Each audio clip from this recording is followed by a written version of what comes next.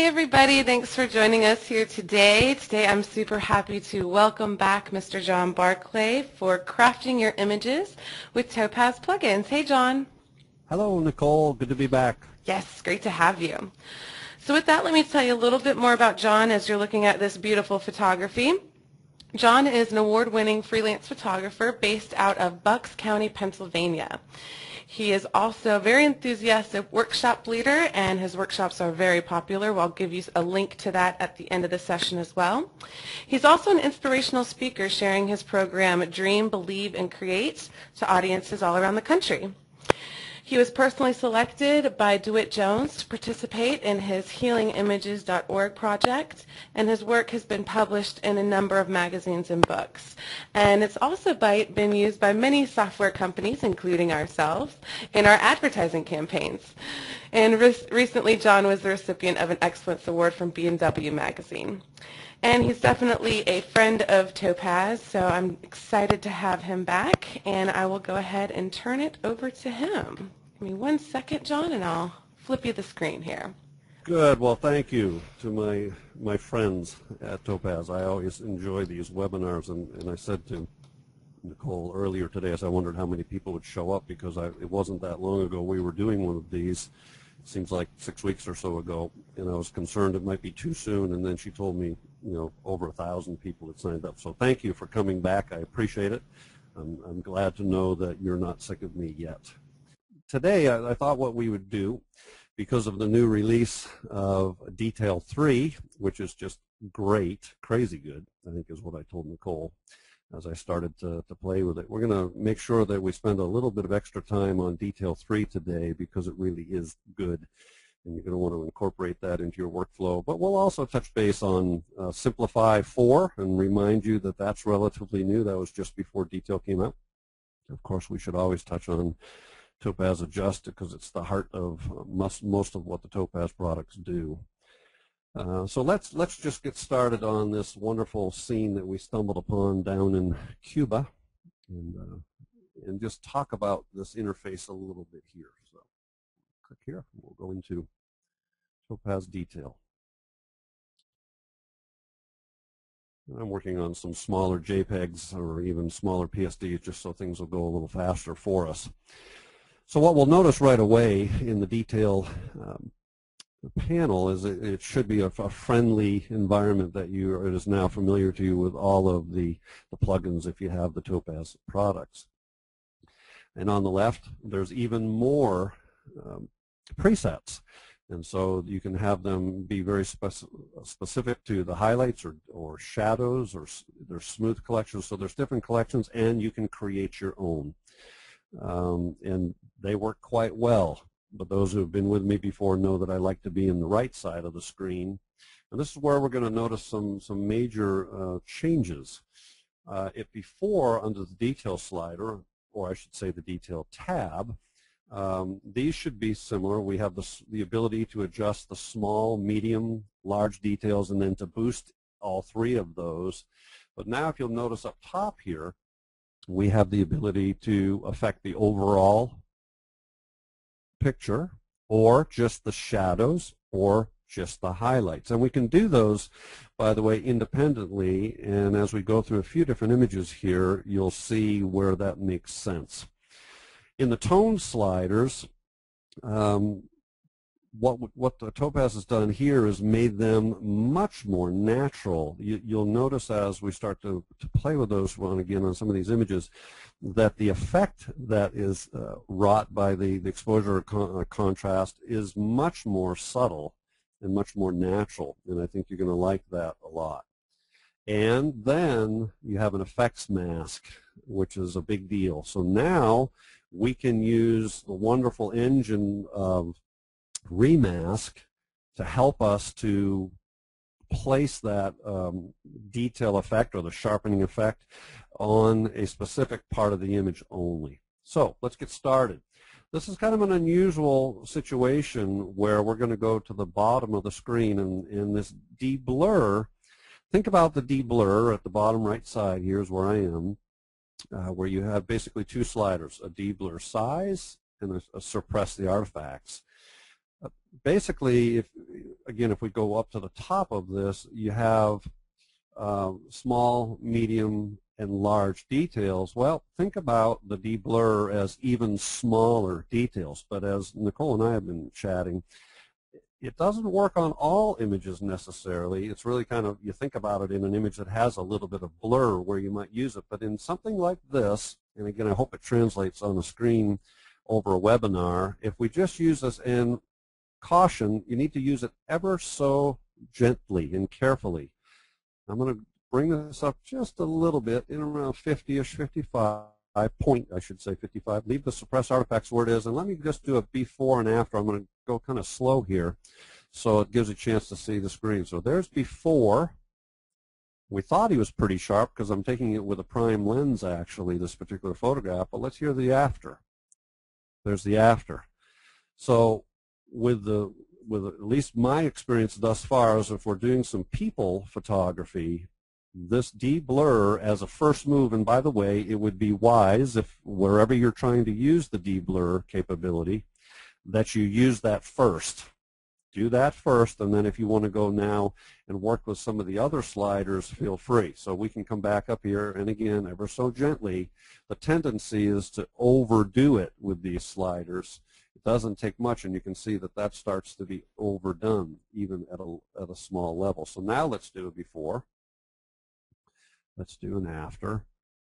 And we're starting to get some really, really great results in making things look extremely sharp, really sharp. Um, and again, this is because the engine has been completely rewritten. It's really from the ground up. As a matter of fact, if you've if you're a previous user and you upgraded, which again, great part about Topaz is upgrades are free, you will have gotten a little notice that says, hey, you're going to lose all your presets because it's a whole new uh, engine running, running this. And so it's much more refined and much greater control. And let's now talk about the tone slider. So if we wanted to change exposure, notice it's hardly even making an adjustment here. And I'm pushing it quite a ways already so it's a, it's a very natural, it's not looking overly bright, but it is brightening up a little bit. Let me bring it down. Okay, pretty severe moves. You can see my uh, slider moving over to you know halfway to the right, and it's still it's starting to look too bright. But it, the the point I'm trying to make here is that it's it's really a nice subtle adjustment, uh, whereas before it was pretty heavy-handed. Same thing with contrast. Before, it didn't take much to start making it look overcooked, as I like to say. Now, it's doing a nice job of adding some contrast into that image. Highlights is going to do what we've always known to do is rein those highlights back in. Shadows to open up those shadows. White point, black points, those are pretty, pretty self-explanatory. But it's worth taking a minute just to review uh, these. And again, if you hover over things, it'll it'll tell you what they're doing. But what it's doing on these on these tone sliders is it's not really changing the color. Okay, I think a lot of people can look at those and say, why would I want to make something redder or bluer or magenta or cyan? Um, well, it's really not doing that. What it's doing is it's affecting the brightness of those specific tonalities. So we have some control because sometimes when we're doing some contrast adjustments, we can affect the colors. And this is a tool that allows you to bring some of that back. So notice here in the cyan red, it's just darkening or lightening that red tonality. And the magenta green, there's not that much of it here, but again, it's just darkening or lightening. So they are really, even though there's colors there to help you understand what colors are being affected, recognize that it's really just affecting the brightness right? Uh, the, maybe even the luminosity you might think of, of those particular tones, giving you further control. And then in the color uh, tab, uh, it is those are pretty much as we would expect them. The temperature slider, you can think about that as a uh, white balance slider if you want to. So you could make it a little warmer if you wanted to, or a little cooler. And again, the, the subtlety of these sliders is a lot better. The tint, again, these would be very similar in your raw processing that you might see in the saturation.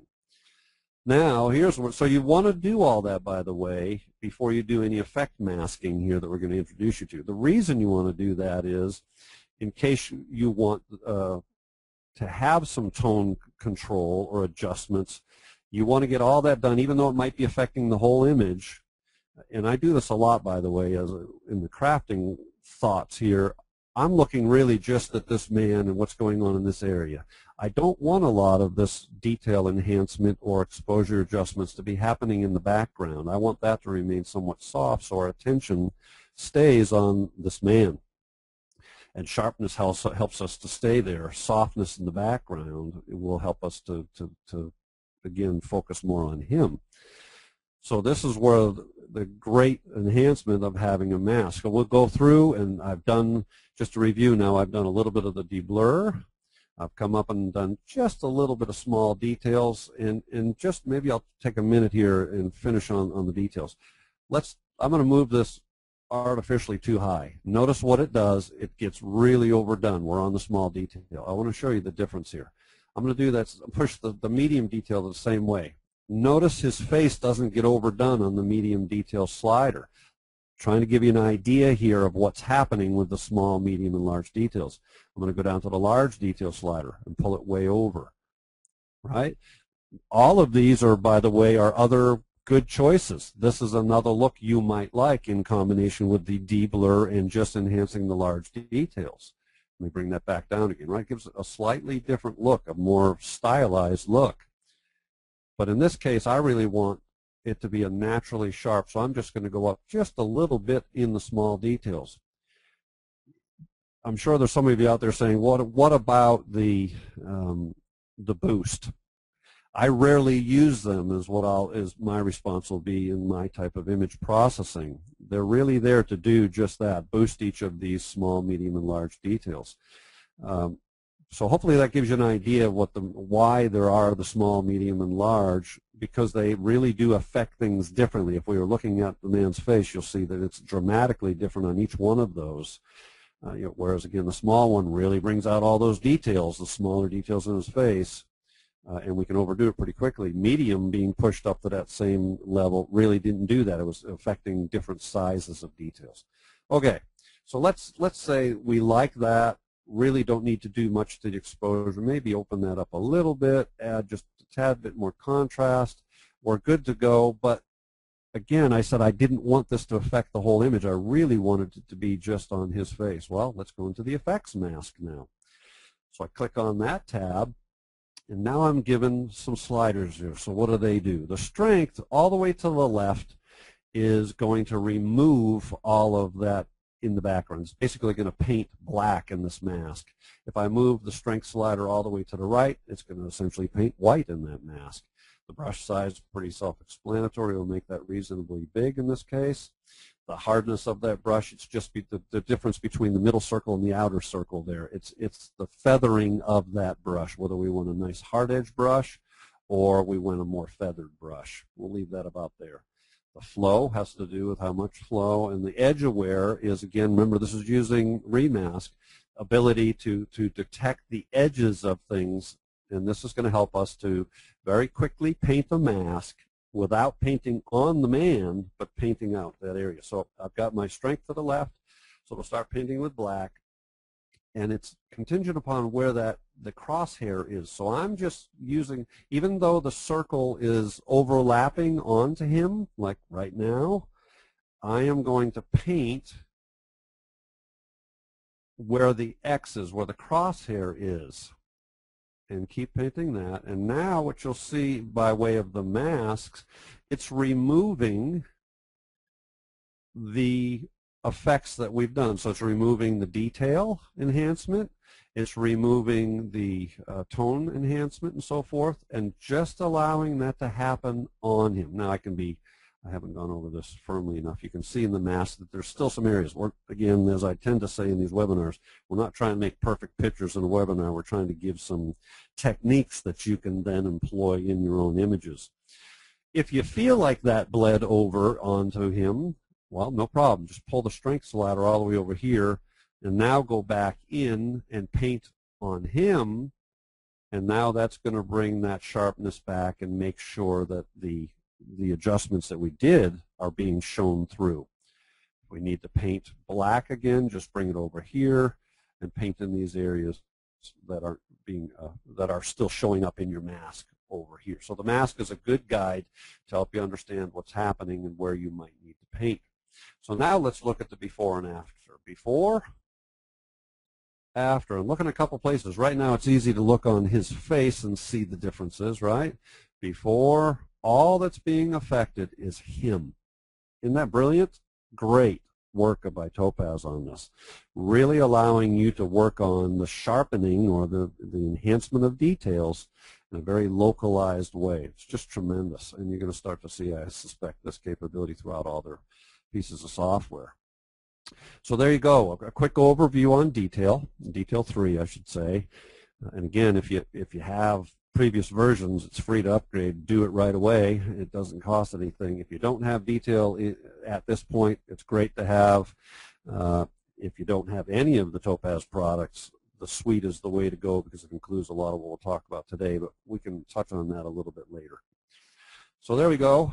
Um, little bit of work in detail and we've created a pretty spectacular looking image.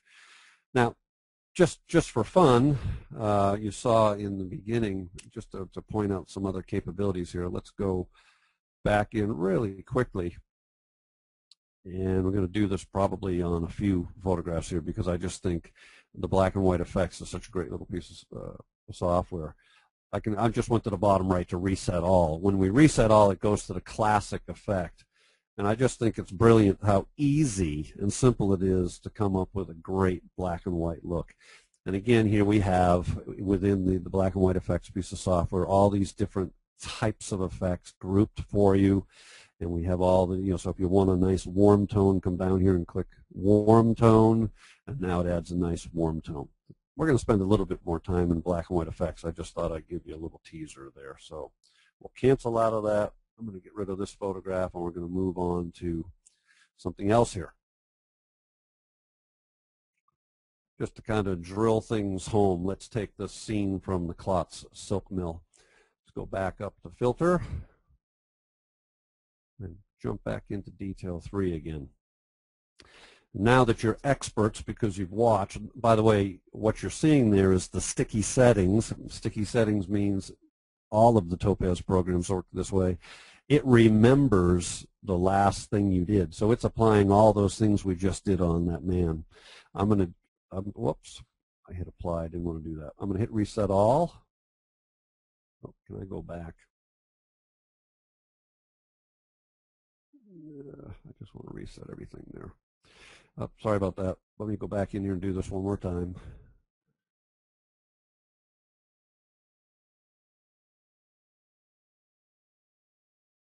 All right, let's hit reset all. Better. There we go. That's what I wanted.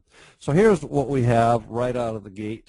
Let's just go ahead and and look at some of these uh, presets just so you can see what they do. If I want to do feature enhancement, let's show you before and after. Before, after, nice job, right? I can do light detail, before, after. So some great presets. You can do a strong detail. It's starting to really bring out a lot of the detail in all of the image. Before, after, right? And then you even have others, which we'll talk about here in a minute. There's even some stylized things that you can do. Uh, lots to cover there. I don't want to spend a lot of time on that. I'm going to go back over here and reset all. And in this case, once again, we'll go down to this blur We'll take a look at what that does. Does a really nice job of making that just insanely crisp. I'm just blown away every time I play with this. It's really good. And then we can come up here to the small details. Got to be careful. It's easy to overdo it. That's all I see that's necessary on this. The exposure and all those things were pretty good on this particular photograph. But now we can go up this effects mask. We can bring the strength, or leave the strength rather. We'll make the brush size a little bigger, bring the flow up, Bring the edge aware way over to the right because we want it to be really good at catching the edges. And now I'm going to paint around this in this wood on this one, just again show you capabilities. And actually I kind of like with the wood staying a little softer. For me, what it's doing is it's making the uh, the real subject here, which is the old notebook. That, by the way, that's a notebook that's been left behind since 1957 when the silk mill closed down. Um, and so we just kind of organized some some of the tools that have been left behind here and making a nice little still life. So let's see what we have.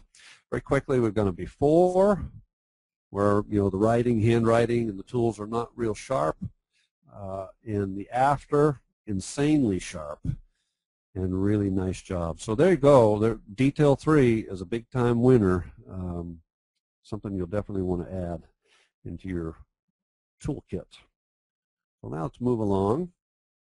Try to get in a few things because I'm sure Scott's out there and he's seeing little Abigail. He and I are both in love with our grandchildren, and, and he keeps on saying, "When the heck are you going to do Abigail?" So I, have got to move through some things here because if I don't get to Abigail today, Scott will uh, probably write me the first email.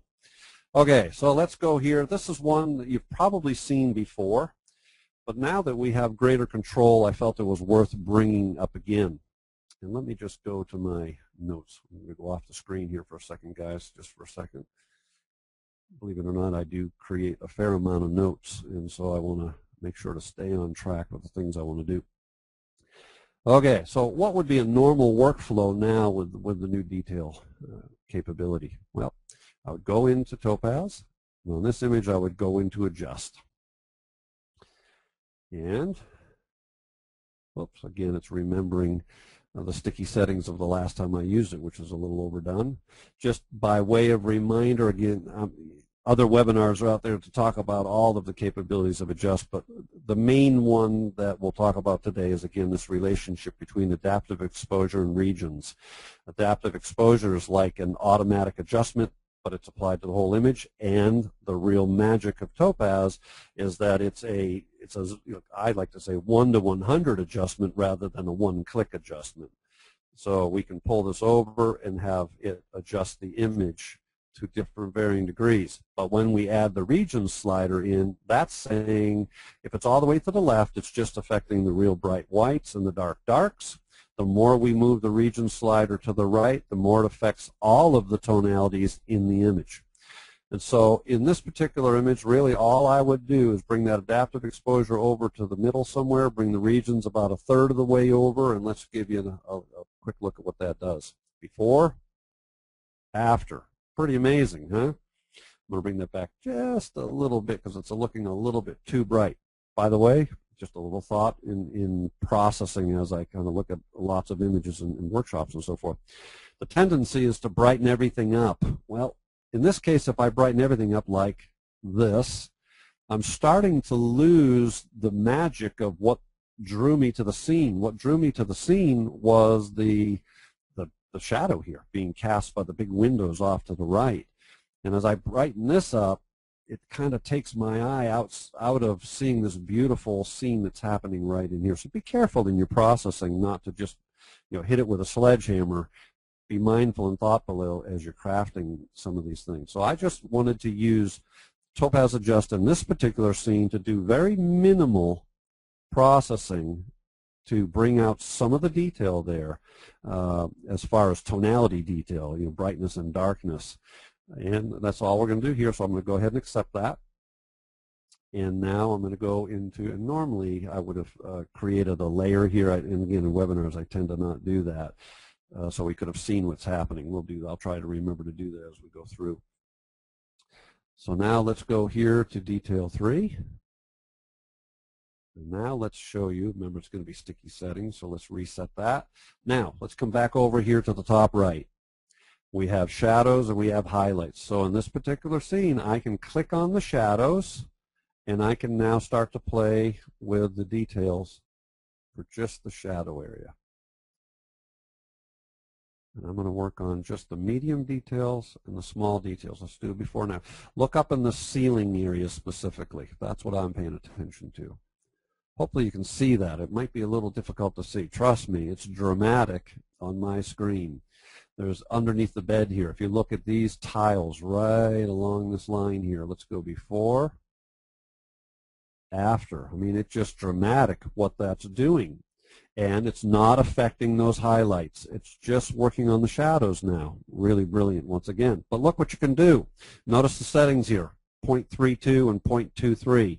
When I click on highlights, if I wanted to, I can just come in and work on, let's say there are just large highlights, and I can work on that. We're not doing much here. But then when I click back on shadows, it hasn't affected those two sliders. So it's not that you can just work on shadows only and then have to come back in and work on highlights a different time. You can do them both, and it's going to pay attention to both of those adjustments for you. And then once again, we can adjust exposure if we want to. And again, just to point out, look, it's very subtle. You can hardly see what's going on with my exposure slider. That's how subtle it is. It's really, really wonderful what they've done here. Contrast again, same thing. So there we go. Just two pieces of software, and we can quickly with adjust, what we did is open up some of those tonalities a little bit, just bring a little brightness into the ceiling so it wasn't quite so dark, being careful not to overdo it. And then with the new detail, I can work just on the shadows and not affect the whole image like we used to before, giving us a ton more control, which is a big deal. Okay. Let's keep moving along. Although, you know, there was someone in a, a, recent webinar said it's all great stuff that we talk about in these webinars, but it does go by pretty quickly. So a point to that. Remember, these are archives. They're taping them, and usually they'll be, as soon as it's available, I put a link on my website and make a blog post saying, here it is, so you can watch it again. Or you can go out onto Topaz's website and watch it again there. Okay, let me look at my notes here. We want to just quickly, uh, because this has been an image that Topaz has used, and I realized I'd never done some processing. So just once again, want to show the, the brilliance of the black and white capability. Let's reset all. And here we are, classic black and white by hitting the first button. Pretty amazing. But what I wanted to at least do this time in the black and white module is remind you to go over here and in the oh, to the right side of the screen I am again. And remember that you have our good friend adaptive exposure. And so you have the ability to affect the exposure with the ex adaptive exposure and region slider just like we did in the previous image and make some very nice adjustments very quickly as I just have. And then you also have a color filter capability, which is nothing more than a piece of glass that we used to put in front of our lenses in the dinosaur days of, or the prehistoric days of film. And with that, we can bring this over and be like a green filter or be like a blue filter or like a red filter, right? And so lots of control in our black and white processing there. But even beyond that, we have color sensitivity, which now allows us to adjust each of those tonalities and have even more control. So I can bring down the blue and affect the blue sky and make it a little darker. Cyan will affect that sky as well in the different areas where the cyan in the sky. The yellow, which is in the grasses of the hay in the foreground, I can affect that and make some adjustments there on those we'll talk specific tonalities. So lots of control in in the uh, the black and white effects a module, I guess I, we, we can call it. And then beyond that, you can go down and do uh, some finishing touches. You can add a border to it, albeit you know just black and white at this point. You can do some edge adjustments, some vignetting, um, and we'll talk about that in a minute on another picture. and you can even go into the silver toning and add some uh, tonal or some sepia toning or other toning should you want to. Powerful piece of software to do your black and white processing. Got to take a look at time. It always goes by faster than I think it does. Okay. Okay, let's have some fun in this idea of crafting images. This again back to Klotz, the silk mill. First thing here we'll do, and this time I'm going to have, and I'm going to make a duplicate, duplicate layer so we can see what's going on. I'm going to go ahead and start with Topaz Adjust. And we'll start reviewing some of these things that we've been talking about. Now, though, I want we've talked about Topaz Adjust in every single webinar because it is a great piece of, again, it's to me, it's the core of what made Topaz worth paying attention to, and now they've just created a whole bunch of great pieces of software to go around it. So it's funny how you learn things. I was uh, would, talking with my friend Tony Sweeten, by the way. I think he's doing a webinar coming up. Make sure to catch that. Uh, and we were just kind of reviewing the different things we're learning with uh, with all the software that we, we love to play with. And here's one I didn't understand until today. And Nicole goes, well, yeah, John.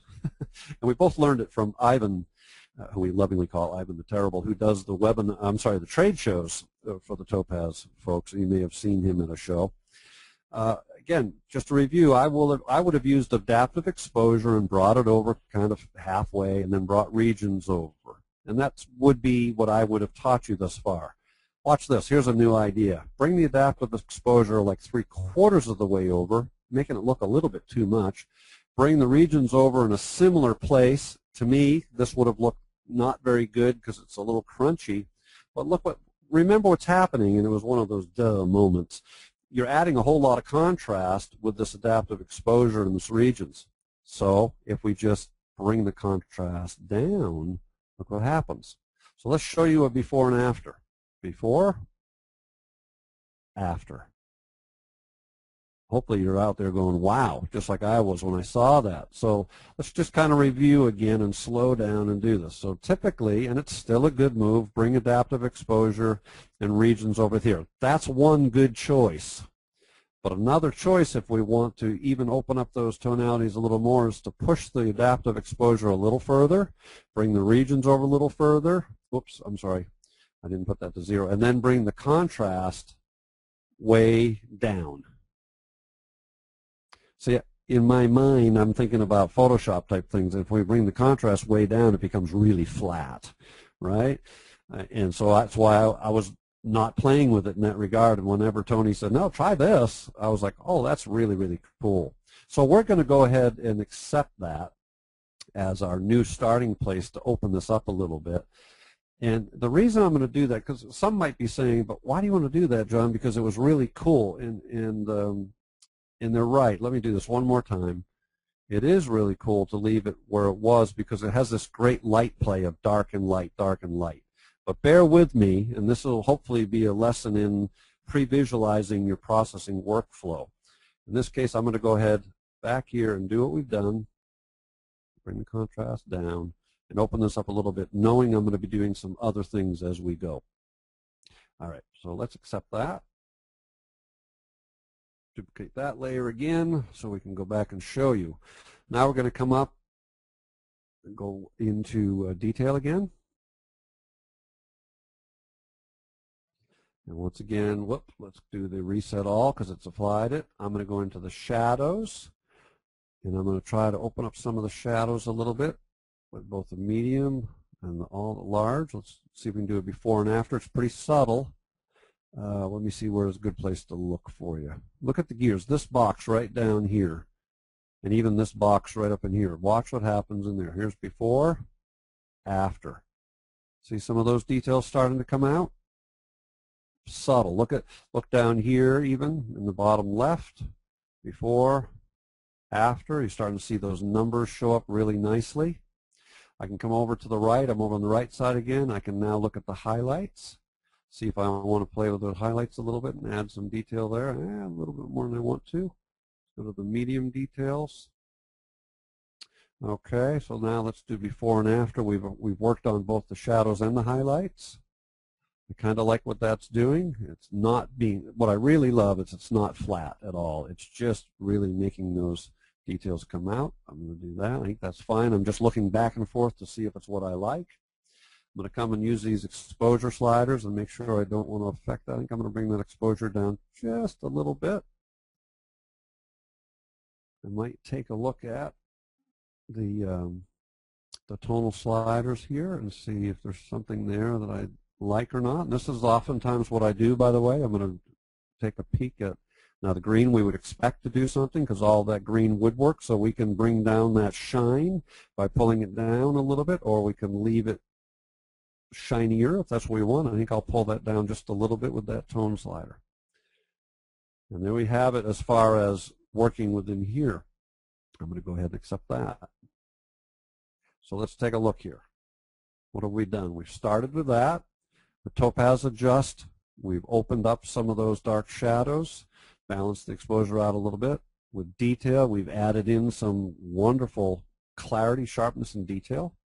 I'm going to go ahead and duplicate my layer one more time. Come back in here, and let's go into black and white effects. Now in this case, I'm just going to come down to warm tone. So the color image is this, the warm tone is that. I just love, I'm a big fan of the warm tonalities in a black and white uh, photo photograph. And then let's just introduce you to one more little adjustment, a finishing touch of a vignette. If we click that open, what we have is the, the strength of the vignette, the size, the transition, the curvature. And then if we hit the center and click on it, we can then put the center where we'd like it. And then we can start to play with the vignette strength. Too much, obviously, but actually not as too much as we thought. I really like what that's doing. And the size of that vignette, we can make that a little bit bigger there. And then the transition is kind of a, think about that as feathering the edge. And the curvature is whether it's going to be more oval or starting to be more square or rectangular. So now let's take a look. And by the way, if we want to take a look at what that particular uh, effect was doing, we just click off on the vignette. Okay, and that's that little checkbox. And isn't that nice? So think back. Remember I said it's starting to look a little brighter than I wanted it to. Well, I knew I wanted to eventually convert this to black and white, and I knew I wanted to put a vignette. But I knew that if I put that vignette, leaving it all pretty dark, it would be way too dark in the final um, rendition that I was after. So by pre-visualizing ahead of time what some of the steps are that I'm going to do allows me to do some of that work in this case, all the way back in the first step in Topaz Adjust. So let's accept that. And now let's go ahead and take a look what we've been doing in a crafting, thinking about it in this idea of crafting. And I didn't spend a lot of time because I've talked about it in other ones, and I'm guessing it's a lot of repeat people here. But the crafting idea is that you know we spend all this time crafting good images in the camera, we should spend equal amount of time being mindful and thoughtful about the crafting we're doing in post-processing and not just hitting a button and getting a one-click look. Although that's fun and easy, it's much more fun to learn these pieces of software and craft things and be thoughtful about it. So here's our first move, the Topaz Adjust, brightening things up, detail, adding in the detail that we wanted, and then black and white with a vignette crafting that final look that we were after. Okay, get rid of that. All that good work, right? Being thrown away. Okay, let me look at the time. My goodness. Okay, I'm going to skip. Well, no, this only takes a minute. I want to take the time because I said I would. So let's go here. Ooh, hang on. First thing we need to do is duplicate that background layer so we can show you what's going on.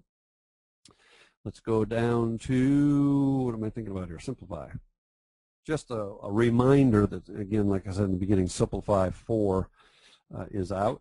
Reset all to make sure nothing's there. In this case, I'm going to go to that painting preset just to show you and re really as a reminder about Simplify, and that's what it does. It gives you that BuzSim um, look kind of a painterly look. But remember, if you're going to use these presets, as good as they are, you still have the ability to come over here, roll open the global adjustments, go over to the simplify size, and instead of Nicole's preset of 0.33, you can make it whatever you feel like. And so I'm going to bring it down to more like 20 and make it a little, little more subtle. And now what I can do is hit OK, Takes a little while to process that. And then if I have it as a duplicate layer, I can turn that on, on and off, and you can see what the Simplify did. Made it have a nice painterly look. And just a reminder, we can add in a layer mask. If I'm in Photoshop, go down the bottom here to what I call the washing machine. It's that square with the circle. Puts in a layer mask. Here, let me hit this and get oops. Looks like that's off the screen a little bit, and I don't want that off the screen. Let me just pull this over. There we go. That's better. And in the, if I paint with black with a brush, it allows me to paint in that mask. And what I can do is I can get rid of move away from my microphone here, bring my opacity up, and I can take that BuzSim look out of the street. In this case, I would do that and leave that painterly look just on the walls of the building. So sorry, I bumbled a little bit on that a little, little bit. So once again on this layer, if you recall, I duplicated the layer first, then I did the effect in Simplify. I went down here to the bottom, clicked on a layer mask icon so that I could put a mask. I got a brush by hitting the letter B, and then I made sure to paint with black. If it's not black, these squares here, it's a whole nother lesson that I don't want to spend the time, but paint with the color black in that mask, and then I can remove that effect just in the area where I want to. And so now I've created this painterly look in this great San Miguel scene with Simplify. Okay. Okay, so, I mean, I, again, Scott's mean and, he can be, you know, trouble. So I'm going to go ahead and open these two images. And we're going to just, because in a previous, you know, probably two webinars ago, we talked about, somebody had asked about remask, and I said, you know, I just don't do that type of work very much. Eh, why did that? Oh, good. And so I promised that I would uh, do this next time. So what, all I'm going to do is I'm going to get the move tool, and I'm going to bring Abigail and drag her on top of this particular poppy field in Tuscany. Let me just make that a little kind of the main screen here. Okay, so I have my background layer over on the right side. I have Abigail sitting on her own layer. I'm going to go into Filter, Topaz, and Remask. And again, I'm painting with a uh, with a mouse here, so you're just going to have to bear with me. This is not going to be perfection, but you're going to get the idea. Okay, it automatically defaults in giving us, you're going to see, normally you don't see this red band, but because they're different sized images, uh, you're seeing this red band here. Normally it would be all green, and that's what it defaults to. And it gives you a blue, notice my brush here has a blue uh, circle around it. That's because it is a blue brush. And these brushes can be gotten here. Remember, in Remask, the way it works is the green is what it's going to keep, the red is what's going to throw out, and the blue is the computation uh, area. So all I'm going to do is I'm going to start liberally painting around Abigail of what I want to keep. And I'm not going to keep her Tootsies. I know you might be upset with me for not keeping her Tootsies. I think her mother would like her to have her Tootsies. And that's all I need to do. And then what I'm going to do is go grab my fill tool, and I'm going to grab the red bucket tool and click in here because I want to throw that away and I want to keep Abigail. And now if I hit my compute mask, if I've done everything correctly, there we go. And up here we have the ability to see the, the original image. I'm up at the top left. The tri-map that we just created, the mask that we just created, and there's what we're going to keep, and there's what we're going to cut out. So those are we can see. Now, it, it's probably not perfect yet, so I'm going to make her a little bigger, and we can see that we have some issues here around her. We can see some little artifacts left behind. Well, not a big deal. Go back and grab your red basic brush. I'm over here on the left side again. And all I'm going to do is click, and it's going to go through and recompute in those areas and start to get rid of those little left behind pieces. And again, the, because of the time here, I'm not going to go through this whole thing. If I hit the H key, I can grab, that gives me my hand and I can now move this around. Another good thing to do is if you go up here, you can do a split screen and you can start to see both of these if you wanted to. Another tool to help you do the fine tuning and the masking there. But I can get the hand tool, go back and grab that red brush, start going in closer here. And you know, it's each time I go where I don't want that, it's going to uh, fine tune the mask. Okay, that's all I'm going to do for this the, because of time that we have. I'm going to get hit OK. Now if I click off on the middle layer, there we have Abigail sitting out in the pile of flowers and she's been transported all the way to Tuscany, which is great. So, okay, we've, I'm exhausted. We've covered a lot here, uh, as we normally do, but hopefully you'll you see that there's power in a lot of the different tools that Topaz has to offer. Today we really just covered what? Topaz Adjust, the new detail, simplify briefly, black and white, and remask. So in this great holiday season that we're in, you know, people often ask me, what do I get? Well, you know, Topaz Adjust is great as what I say. And then I say, gosh, I couldn't live without having black and white effects because I really like that. And man, the new detail is just killer. And you start to put those together and you've spent enough money to buy the, the, the whole bundle. And Nicole's going to have a 30% discount coming up for the whole bundle, which you can only get by sticking around for a webinar, and I appreciate you doing that. So my recommendation is always making sure that you're, and she's going to give the coupon code here in a minute as to what it is. Um, but I would recommend the whole bundle because, as you saw today, there's what five plugins that make sense, and those will be more than what the cost of the bundle. Remember also that it's free upgrades. Uh, at least that's the, the the model that they have for now, and it's been that way ever since I've had a relationship with with Topaz. And so it's a great deal. And by the way, if you have other of their, if you already have Adjust and Detail in black and white and you want to upgrade to the whole bundle, there's an upgrade path for that as well. So I'm done talking. Um, I'm sure there might be one or two questions or some snarky comments from Brian, so I'm ready. All right, thanks, John. Yes, I'm here. Thank Scott. you so much. I, I haven't seen any yet, but you never know. We do have a lot of questions, though. No snarky comments? I don't. I may have missed them though. I was uh, typing away for some of them. All right, a couple questions coming at you really quickly. Um, Kay had asked at the beginning, especially with your uh, gentleman, are most of these shot with natural light, or are you using any sort of lighting? Uh, you know, that's an easy answer. I'm horrible with lights.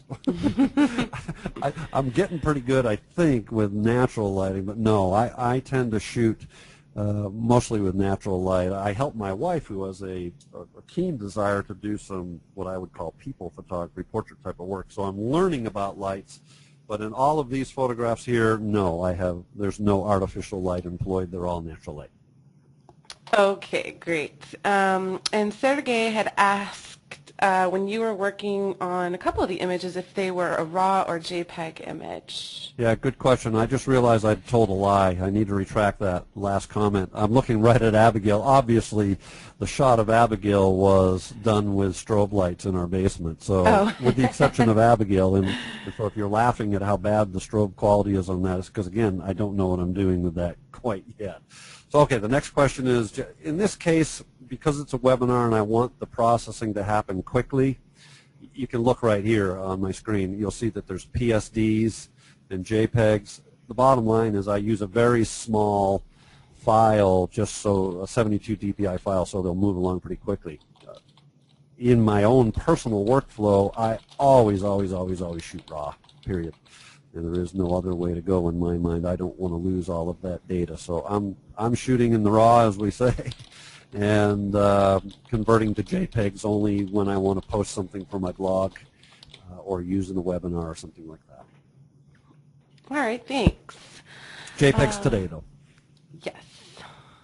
Christopher had asked if you do any processing in Adobe Camera Raw before opening in Photoshop and then using Topaz, but I'm guessing because you're using RAW, you do some. So yeah, absolutely, you bet. Uh, more so than ever, the the new RAW engine in Lightroom and Photoshop, which obviously are the same in Photoshop 6, it's the same engine, uh, is dramatically different. You know, much like this new detail is dramatically different.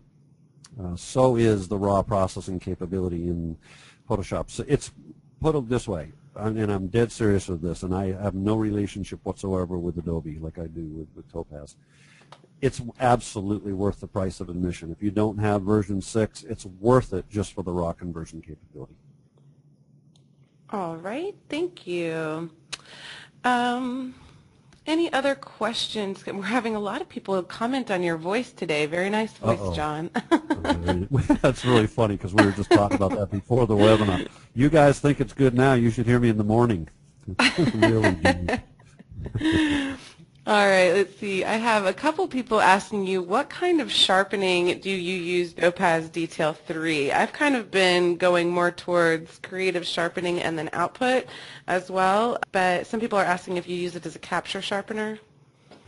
You know, I haven't. I, I tend to, to do no, my normal sharpening to date, and it really is starting to change a little bit with detail, it really honestly is, um, has been to use Smart Sharpen in Photoshop. So the, the capture sharpening might be a little bit of subtle sharpening within the raw module in Raw Converter in Photoshop, then do my work, and then I would use detail in certain situations. But again, I didn't use it as much as I will now because it was a little heavy-handed and didn't give me the control, and I was too lazy to make layer masks on my own and all that.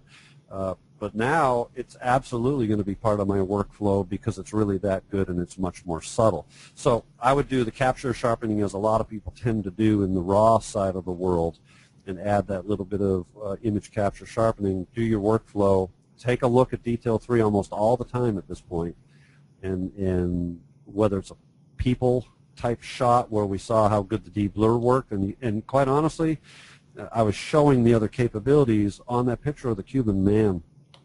All I would have done is the de-blur, period, and nothing else. I wouldn't have added in any more because that's all it needed, and then I would have been done at that point. It would have been you know, final sharpening for that particular size JPEG that I was working on at that moment. All right, thanks. Mm-hmm. Let's see. I have been asking about when you would suggest using your host program adjustments, such as Lightroom uh, adjustments versus Topaz adjustments, if there's kind of the similar adjustments within each program. Yeah, and that's a really good question. And, and you know, the answer to me gets down to a similar answer that you've probably heard before from others or myself, and that is it really comes down to personal choice and personal preference. It really does. I know some great photographers. Graham's a good friend of mine, and, and he's in this mode right now where he doesn't want to use, and you don't want to hear this, close your ears, Nicole, but he doesn't want to use any plugins right now. he wants to create all the, and he's doing a great job, but it's a lot of work. I mean, he he's doing it all within Lightroom, and, and that's about it.